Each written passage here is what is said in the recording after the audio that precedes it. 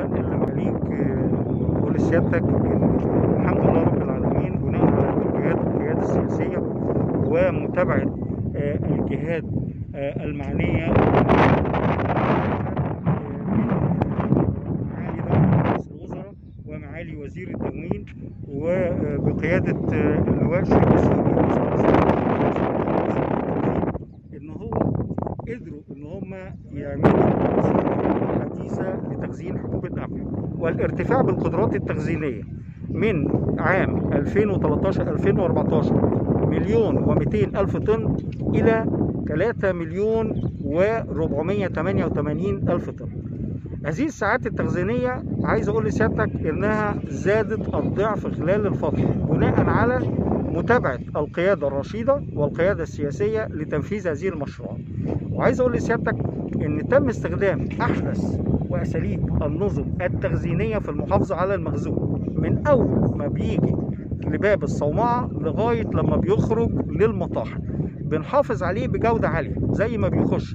بيخش بيبتدي إن هو يتعامل معاملة الوزن اولا ثم بينزل على النقرة وبيتم أخذ الشوائب بتاعته وكل الأتربة اللي هي اللي موجودة فيه. ولو في أي نوع من أنواع برادة الحديد بيعدي على المغناطيسات. وبعد كده بتخش على طريق النوائل إلى الصوامع. أول ما بيخش للصوامع بيحصل كالآتي. بيبقى في عندي نظام لمراقبة آه، آه، درجات آه، الرطوبة اللي موجودة ودرجات الحرارة وبقدر أعرف كمان الكميات اللي موجودة داخل الخلايا وده بيديني أريحية إن أنا ببقى عارف الاحتياطي بتاعي والكميات المخزنة جوه الخلايا قد إيه. بعد كده بنبقى بنعمل حاجة اسمها صيانة الحبوب.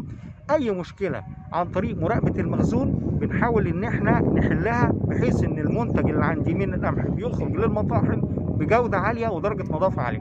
طب معنى كده إيه؟ إن أنا مبقاش عندي هدر في المخزون.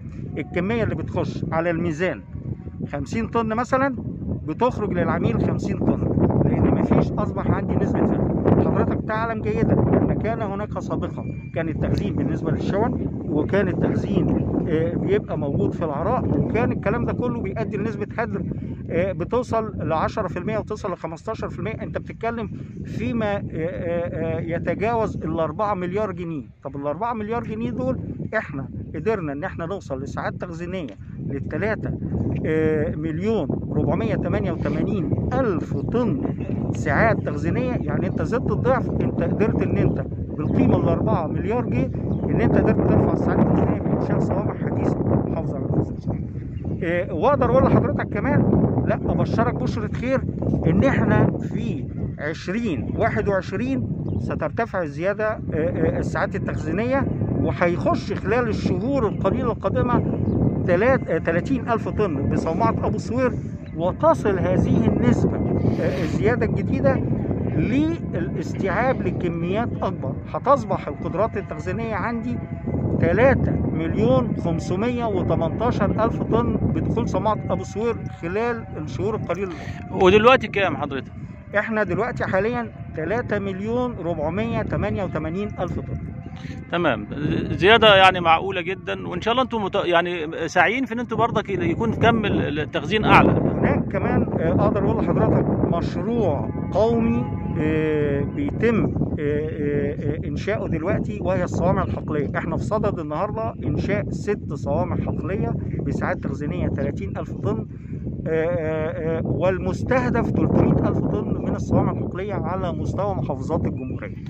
تمام. بداتوا فعلا ولا لسه في بدأنا مشروع فعلا وتم ال- ال- آه، آه، إرساء ال- العطاءات على الشركات المنفذة وهنبتدي بالست صوامع خلال ال- ال- العام المالي اللي إحنا شغالين فيه. تنفيذ خلال الشهور القادمة في عام 2021 سيتم ال- المرحلة الأولى بإنشاء الست صوامع اللي هم الساعات التخزينيه 30000 طن كل هذه الساعات التخزينيه هي بتساعد على وجود احتياطي استراتيجي من القمح اللي موجود المستخدم لاي لمواجهة أي ظروف. وعايز أقول لسيادتك إن الحمد لله رب العالمين إن وزارة التموين هي وزارة بتسعى دائما للحفاظ على احتياطات استراتيجية من المواد والسلع التموينية على مستوى العام لمواجهة أي ظروف.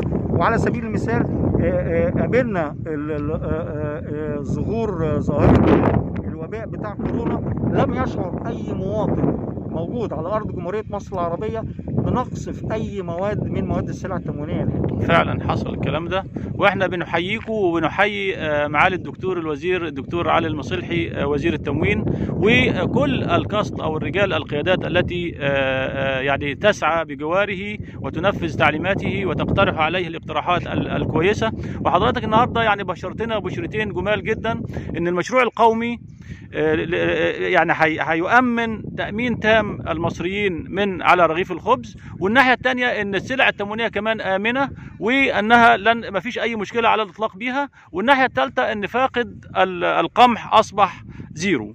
حضرتك يعني أنا بس محتاج تكلمني عن يعني الجديد كمان لو في كمان جديد آه، آه، اطروحات تموينية جديدة. آه، عايزين نقول للمواطن يعني لو في جديد ناحية من ناحية وزارة التموين. أنا أنا بقول لسيادتك آه، آه، معالي الوزير بيسعى دائما لتقديم الأفضل من الخدمات التموينية لجميع المستهلكين على مستوى جمهورية مصر العربية على جميع آه، مستوى وأصعدة السلع التموينية تماما. تمام. آه، ودائما هناك جديد ودائما هناك اجتماعات لمعالي الوزير مع الموردين وهناك دائما اجتماعات مع معالي الوزير مع هيئة السلع التموينية لتقديم ما هو أفضل من المنتجات وبجودة وبجودة عالية. كنا عايزين نسأل معاليك الصوامع اللي هيتم اللي بدأ هيتم يعني المرحلة انهاء المرحلة الأولى فيهم دول أماكنهم فين؟ آه، في عندي في الشرقية وفي عندي في فين في. الشرقية؟ كام في الشرقية؟ آه، في عندي أربع صوامع في الشرقية وعندي صومعة هتكون في المنوفية آه، وأعتقد إن هناك في صومعة تقريبا آه، في طنطا أنا مش متذكر بالظبط. ما فيش مشكلة إحنا بنحييكم بجد. ويعني آه، دائما آه، يعني آه، تبشروا الشعب المصري ببشر جميلة وبنهنئهم بقيادتهم الرشيدة والسياسة ال- ال- ال- الرشيدة التي تمر بها البلاد وخاصة وزارة التموين. معالي الباشمهندس نشكرك شكرا جزيلا وإلى اللقاء إن شاء الله. بإذن الله.